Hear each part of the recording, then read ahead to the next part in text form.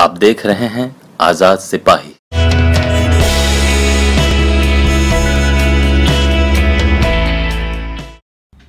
नमस्कार, आज़ाद सिपाही में आपका स्वागत है। मैं हूँ राहुल सिंह।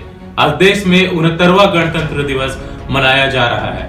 गणतंत्र दिवस भारत का एक राष्ट्र पर्व है जो प्रतिवर्ष 26 जनवरी को मनाया जाता है। इस दिन सन 1950 को भारत सरकार अधिनियम को हटाकर भारत का संविधान लागू किया गया था। एक स्वतंत्र गणराज्य बनने और देश में कानून का राज स्थापित करने के लिए संविधान को 26 नवंबर उन्नीस को भारतीय संविधान सभा द्वारा अपनाया गया था और 26 जनवरी 1950 को इसे एक लोकतांत्रिक सरकार प्रणाली के साथ लागू किया गया था। 26 जनवरी को इसलिए चुना गया क्योंकि 1930 में इसी दिन भारतीय राष्ट्रीय कांग्रेस ने भारत को पूर्ण स्वराज घोषित किया था। यह भारत के तीन राष्ट्रीय अवकाशों में से एक है। अन्य दो स्वतंत्रता दिवस और गांधी जयंती है। इस बार की गणतंत्र दिवस परेड में महिला शक्ति देखने को मिली। गणतंत्र दिवस पर राजपथ पर सैन्य ताकत का प्रदर्शन हुआ। परेड में तेईस झांकियाँ निकाली गई। महिला जवानों की मोटरसाइकिल कर्तव्य पर खूब तालियाँ बजी। परेड में 20 साल बाद आईटीबीपी के जवानों ने शिरकत की। स्वदेशी एयरक्राफ्ट कैरियर विक्रांत का प्रदर्शन किया गया। समारोह में 10 आसियान देशों के प्रमुख भी बतौर मेहमान पहुँचे। परेड देखने के लिए इकसठ आदिवासी मेहमानों को आमंत्रित किया गया था। ज्योति निराला को मरणोपरांत मिला अशोक चक्र।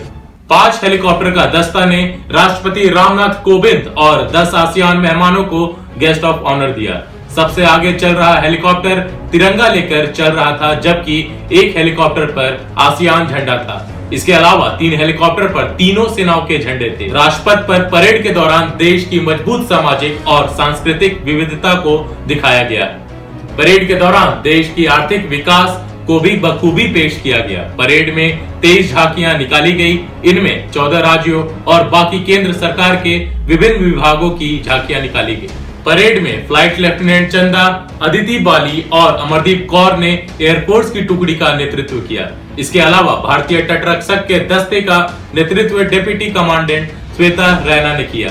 परेड में सशस्त्र सीमा बल के दस्ते ने राष्ट्रपति को सलामी दी। परेड में 20 साल बाद आईटीबीपी के जवानों ने शिरकत की। महिला दस्ते सीमा भवानी ने पहली बार राजपथ पर मोटरसाइकिल करतब दिखाया। यह दस्ता जैसे ही राजपथ पर पहुँचा, चारों तरफ़ तालियों के साथ उनका स्वागत किया गया। सीमा भवानी के जवानों ने मोटरसाइकिल पर कई तरह के कर्तव्य दिखाए। महिला जवानों ने सभी प्रैक्टिस के ज़रिए राजपथ पर शानदार नजारे को पेश किया।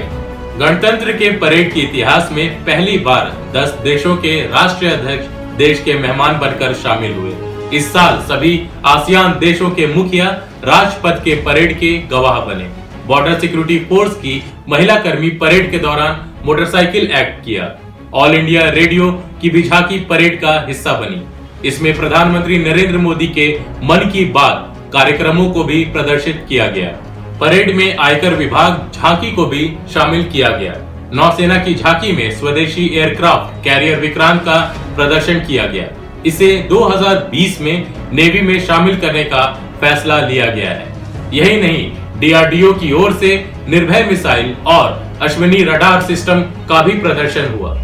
केंद्र सरकार की ओर से देश के विभिन्न हिस्सों से गणतंत्र की परेड देखने के लिए इकसठ आदिवासी मेहमानों को भी आमंत्रित किया गया था। राष्ट्रपति रामनाथ कोविंद ने वायुसेना के शहीद गरुड़ कमांडो ज्योति प्रसाद निराला को मरणोपरांत को शांति काल का सर्वोच्च वीरता सम्मान अशोक चक्र से सम्मानित किया। निराला की पत्नी और माँ ने राष्ट्रपति के हाथों यह पुरस्कार ग्रहण किया। निराला ने अकेले ही तीन आतंकियों को कश्मीर में ढेर किया था।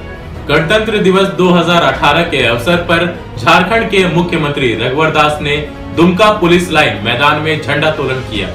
गणतंत्र दिवस के मौके पर झारखंड के मुख्यमंत्री रघुवर दास ने राष्ट्रपिता महात्मा गांधी, पंडित जवाहरलाल नेहरू, डॉक्टर राजेंद्र प्रसाद नेताजी सुभाष चंद्र बोस, बाबा साहब, डॉक्टर भीमराव अंबेडकर, मौलाना अब्दुल कलाम को नमन करते हुए अपना संबोधन शुरू किया। उन्होंने कहा कि वर्ष 2000 में झारखंड वासियों के कल्याण और उनके चहुमुखी विकास के लिए झारखंड राज्य का गठन किया गया था। हमारा राज्य शैशव अवस्था से युवा अवस्था में प्रवेश कर चुका है। युवा झारखंड को सही दिशा में ले जाने एवं विकास के पथ पर अग्रसर करने हेतु हमारी सरकार कृत संकल्पित है। मुख्यमंत्री ने झारखंड की अस्मिता के लिए अपना सर्वस्व निछावर करने वाले झारखंड के महान सपूत भगवान बिरसा मुंडा, तिलका मांझी, वीर सिद्धो कानो चाँद भैरव, फूलो झानो, वीर बुद्धू भगत, ताना भगत, नीलांबर पिताम्बर जैसे महान विभूतियों को अपनी श्रद्धा सुमन अर्पित की। मुख्यमंत्री ने कहा कि झारखंड का माहौल बदल गया है।